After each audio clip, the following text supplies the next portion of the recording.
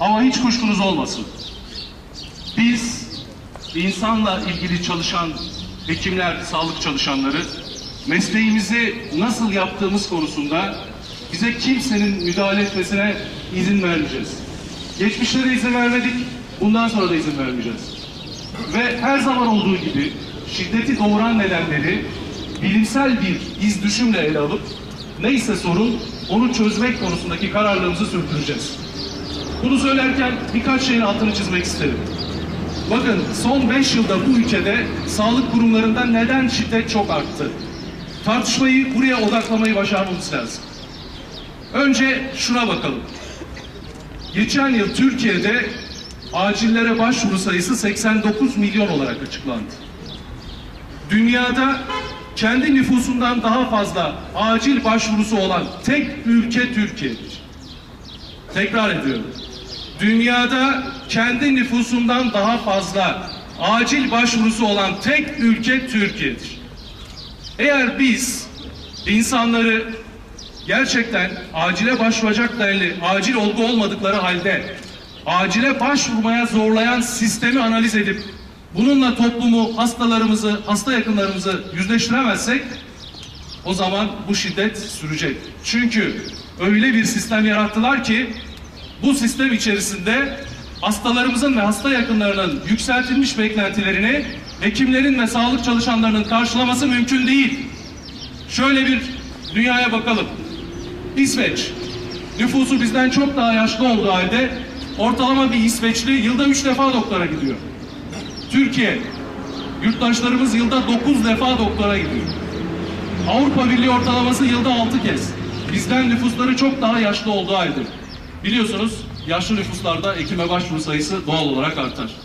O zaman insanları bu son 5-6 yıl içinde, 10 yıl içinde daha fazla hasta eden nedenlere odaklanmamız lazım.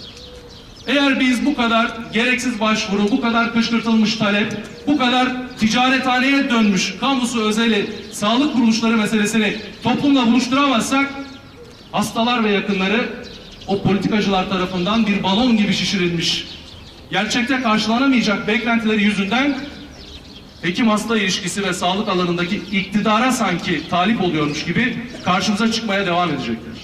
Buna izin vermemiz mümkün değil.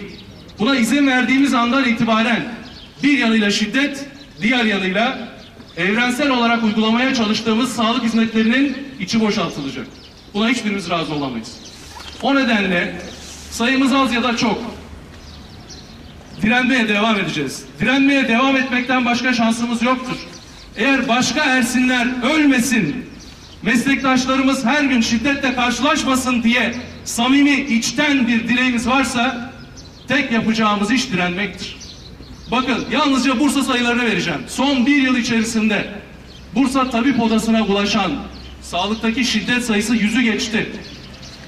Sağlık Müdürlüğü kayıtlarından öğrendiğimiz kadarıyla bu sayı resmi sayılardan söz ediyorum 400'ü geçmiş durumda.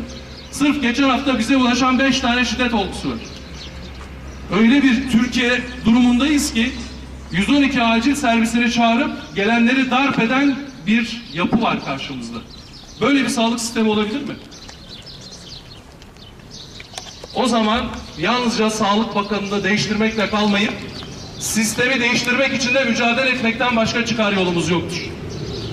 Ben sözlerimi sevgili Ersin Aslan'a duyduğumuz özlemle ve gerçekten onu çok özlediğimizi, sevdiğimizi tanımasak bile çünkü içimizde, yüreğimizde onu yitirmenin acısı halen sıcak. Onun ay, anısına duyduğumuz saygıyla bitirmek istiyorum.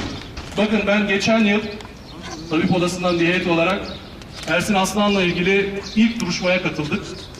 Orada gördüğümüz daha da beter bir şeydi. Yani bu ülkede daha 18 yaşına gelmemiş 17 yaşında bir çocuk dedesine ameliyat edip hayata döndüren bir doktoru lavaboda ellerini yıkarken sırtından gelip kocaman bir bıçakla bıçaklayabiliyor bir sağlık kuruluşunda. Gerçekten bizim isyandan başka şansımız yoktur.